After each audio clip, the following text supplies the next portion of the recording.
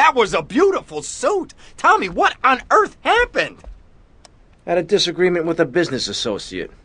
You know how it is. Tommy, I have a disagreement. I send them an angry letter. Maybe I pee in their mailbox. I don't start World War III.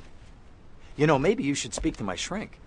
That stupid prick Lance. Tommy, I never liked that guy, okay? He's neurotic, he's insecure, he's self centered. The guy's an asshole. I'm glad you took him out. I don't think we're gonna be getting any more heat from up north either. Because there ain't no up north anymore.